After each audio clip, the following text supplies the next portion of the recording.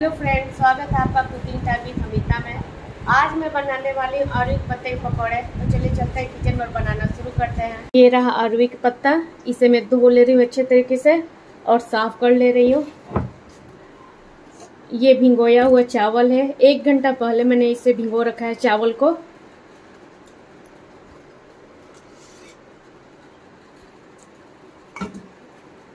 ये लहसुन, जीरा और हरी मिर्च। इन सबको मैं मिक्सी जार में डाल ले रही हूँ, डाल के पीस ले रही हूँ।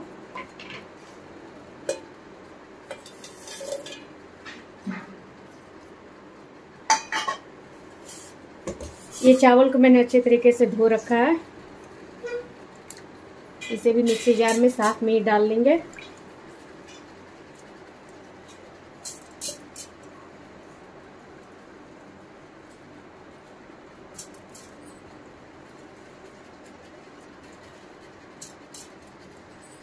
मैं मिक्सी जार में डाल रखी हूँ।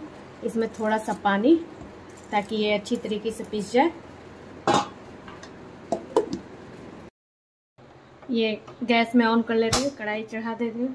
जब तक कढ़ाई गर्म हो रही है, तब तक इसका हम बैटर तैयार कर लेते हैं।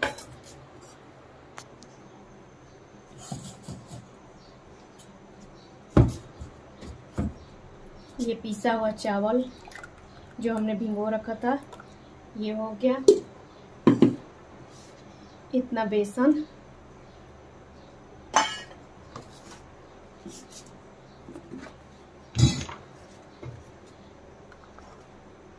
आधी चम्मच हल्दी, पीसा हुआ लाल मिर्च, एक चम्मच। धनिया पाउडर, आधा चम्मच। अब मैं इसमें डालने वाली हूँ खाने का नमक स्वाद अनुसार। ये एक चम्मच से थोड़ी सी कम नमक। अब इन सबको हम अच्छी तरह से मिक्स कर लेंगे।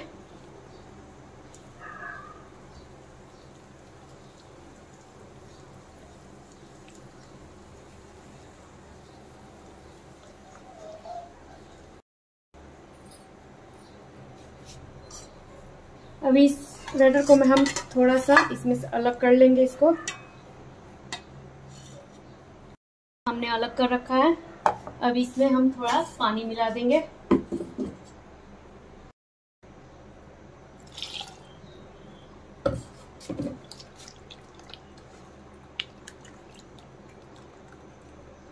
इस तरह इतना पतला हम रखेंगे। ये देखो फ्रेंड इतना बड़ा।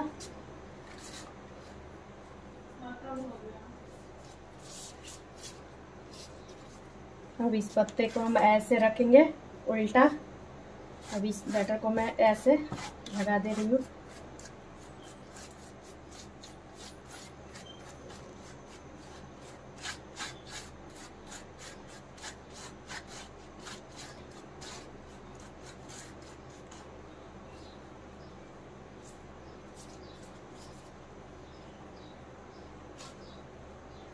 अब एक पत्ता ऐसे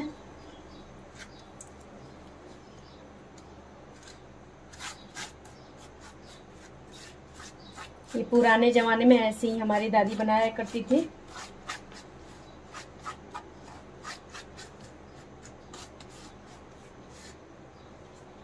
अब एक पत्ता ऐसे करके हम डाल रखेंगे।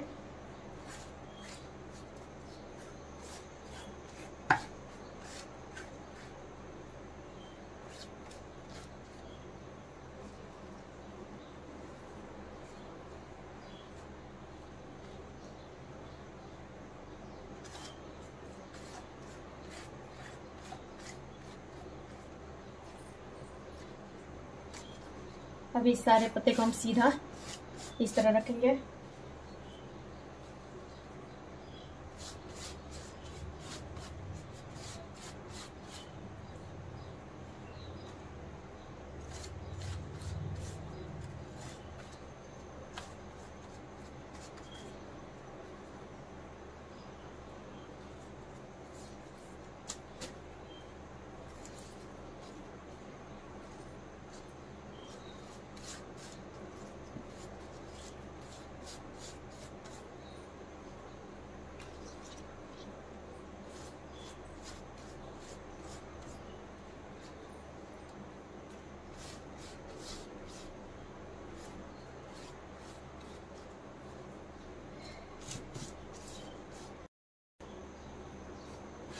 अब इसको हम ऐसे मोड़ेंगे, इसको रोल करेंगे हम।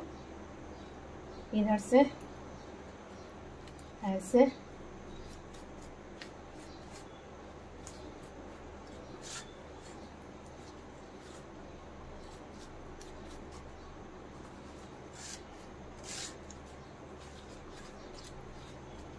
ये थोड़ी दिक्कत तो होती है, लेकिन बहुत ही टेस्टी होता है। ऐसे। इसको राउंड हम करते जाएँगे, ऐसे।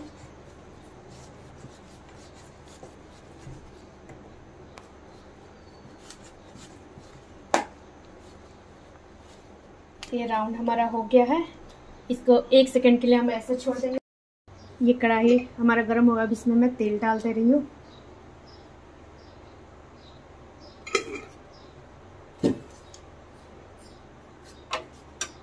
अब एक चाकू की मदद से हम इसे ऐसे गोल गोल काट लेंगे।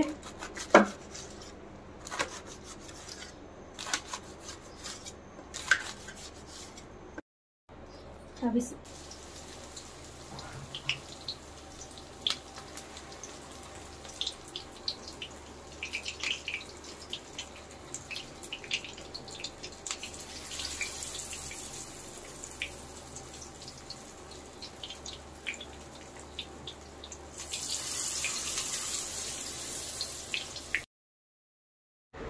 इसमें हम चावल का जो बैटर पतला मिलाया था, वो हम डाल देंगे इसके ऊपर से।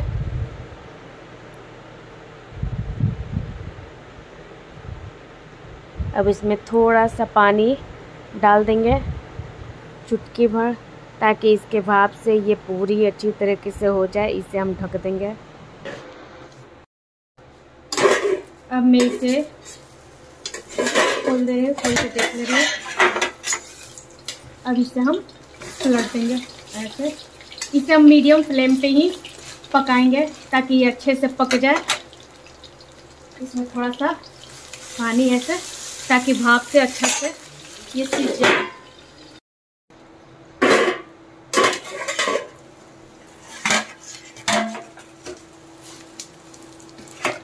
ये हमारा हो चुका है।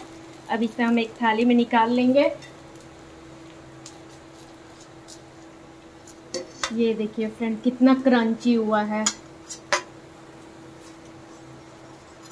ये अच्छी तरीके से गल भी चुका है।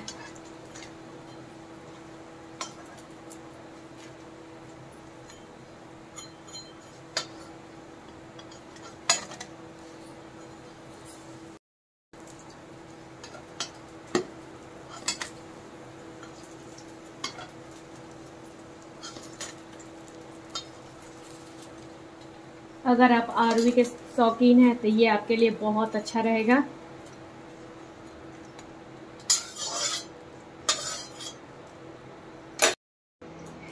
ये हमारा आरवी का पत्ता बन के रेडी है। आप इस रेसिपी को ज़रूर ट्राई कीजिएगा। अच्छा लगे तो लाइक कीजिए शेयर कीजिए सब्सक्राइब कीजिए। आप इसे चावल और दाल के साथ भी खा सकते हैं, रोटी के साथ भी खा सकते हैं। बहुत ही अच्छा लगेगा।